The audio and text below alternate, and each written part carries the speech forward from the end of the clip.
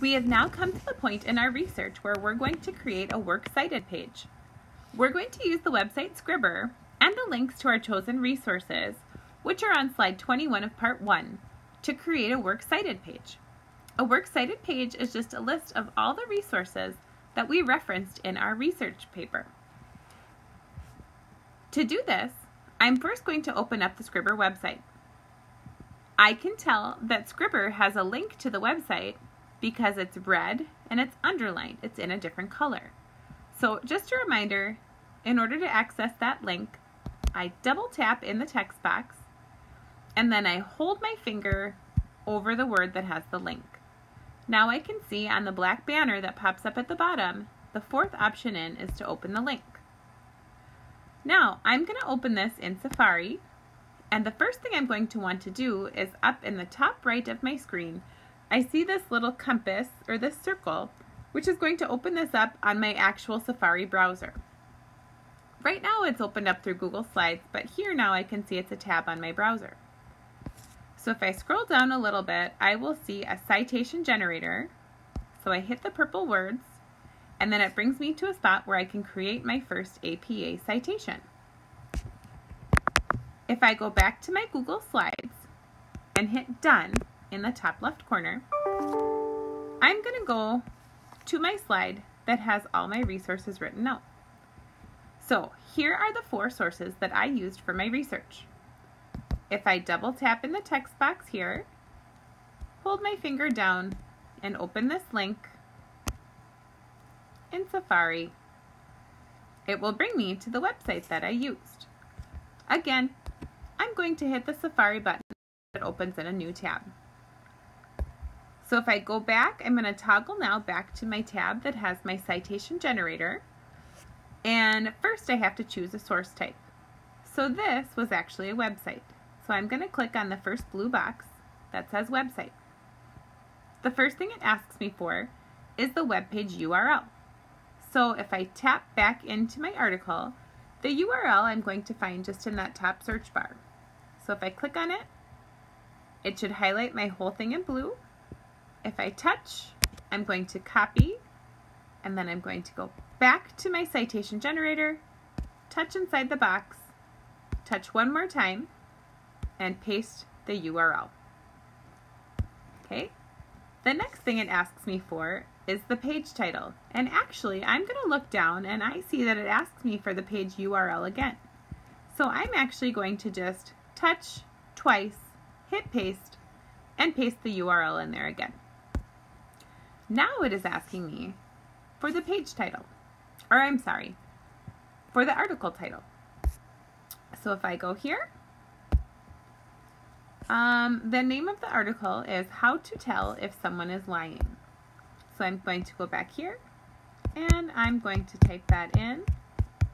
How to tell if someone is lying.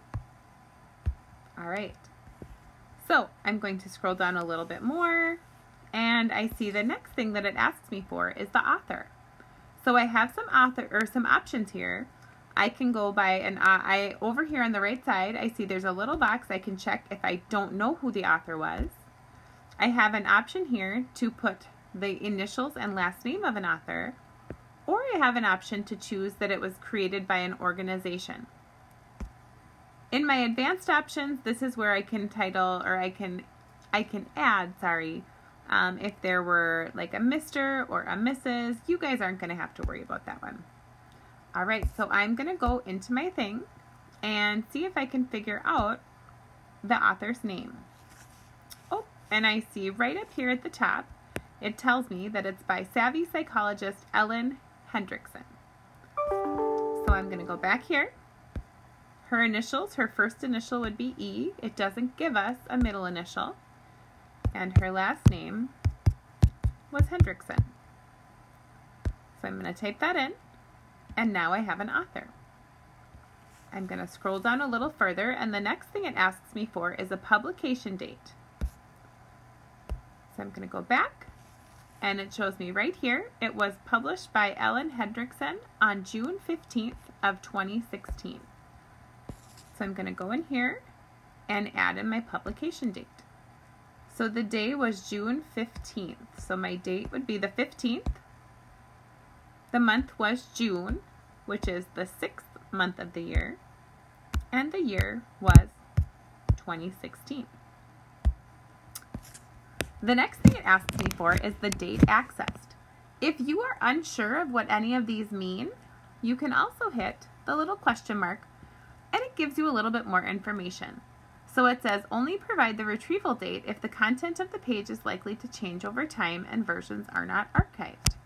So all this means, you guys, you can enter this information. This just means what day did you find the website. So for me, I found this website two weeks ago.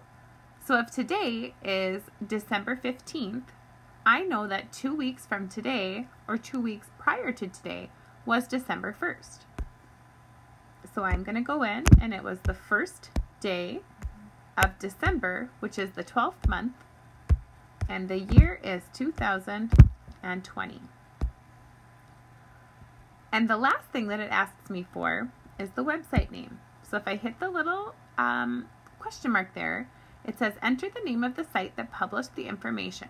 For example, Scribbr, CNN, or the CDC.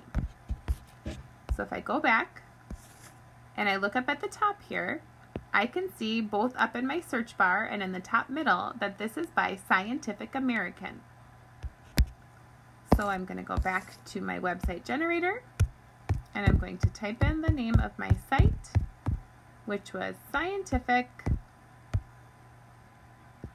American. All right, now I have all of my information entered.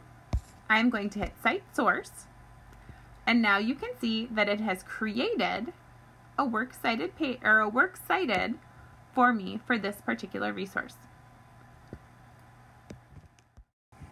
Now that I have created a works cited for one of my resources, I have to go back in and complete the same process for my other three. In order to do this, I'm just going to double tap my home screen, go back into my Google Slides, and hit Done to get back into my slides presentation. I'm going to double tap in the box for my next slide and I want to show you this one because Newsela, those of you that use Newsela, there's a little bit different um, steps that you have to follow. So same thing though, I'm going to touch on the red lettering, hold my finger down until that black banner pops up and choose to open the link. It's going to pop me into the Newsela app if you have it on your iPad. If you don't, it should just pop you to the website. But if it pops you to a screen that looks like this, at the very bottom, you should see something that says just browsing, I'll join later. So there's one extra step. Now that I have the app open, up in the top left, I should see something that says slides with a back arrow. I'm going to touch that to go back into my slides presentation if it somehow takes you out of your presentation, that's okay. Just open it again and scroll ahead to slide 21, which is where your material was. I'm going to do the same thing. I'm going to double tap in my box for source number two, which was my Newsela source.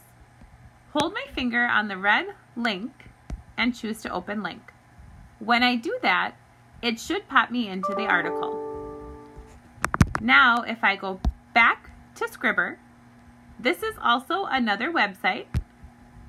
I'm going to choose website and then the first thing I need to do is get that URL. If you are open in the Newsela app, the way you do this is to hit this share button on the right side of my screen. When I hit share, I should see an option here that says copy.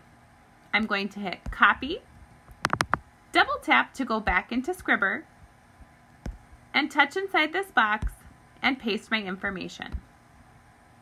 One thing I forgot to show you is if I hit that little search, um, search icon, it will give me the option to search for my article. And here I can see is the same article I was just using. Lie detector test comes under fire as FBI hiring tool. If I touch on that, it will fill in some of the information for me. So as I scroll down, I can see it has already filled in my title and it has already uh, filled in my website URL.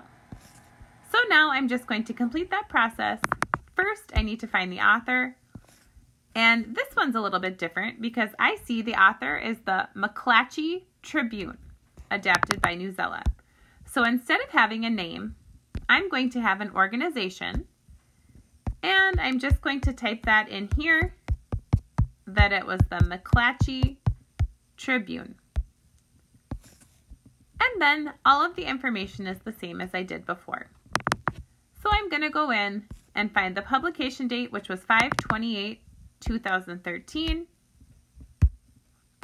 05 oh nope I made a mistake. It was the 28th day of the fifth month in the year 2013 and then I accessed this on the same day as my other resource which was the first day of December in the year 2020 and the website's name was Newsela. So now I'm going to hit cite that source and you can see it has created another um, site for me, another works cited for me. So now I'm going to go through and do that for my other. Now that I have completed this process for all four of my resources, I need to get this into my works cited page on my slides presentation. To do this, off to the left of each of the sources, you should see a little checkbox. It's a little bit hard to see. My iPad is cutting it off, but as I highlight it, you will hopefully be able to see it. So I'm going to check. I want to include all four of these sources. Down at the bottom, you see a couple of different options now that show up in the blue banner. I'm going to hit the copy icon, which looks like two little pieces of paper over the top of each other. So if I hit that, it copies the link to my clipboard. I'm going to double tap my home screen go back to my slides presentation and my works cited page. Double tap inside the text box where I'm supposed to put my works cited information. Hit return a couple of times to create a space and then touch in the box and hit paste. It will paste the information for all four of my sources, um, but it's going to paste it all together. So all we need to do is go in and add some spaces. And to do that, we look for the authors. So the first author I see here is Hendriksen. The next author is Marcotte. And if you don't remember this, all I would have to do is double tap, go back to my Scribbr site, and you can see that Marcotte is my second source. So if I go here and touch right before it says Marcotte, hit return a couple of times. The next one was by the McClatchy Tribune. So again, I'm going to go in, touch right before McClatchy Tribune, space a couple of times, and the last one was by Sanders. So I'm going to go in and move my cursor and space a couple of times.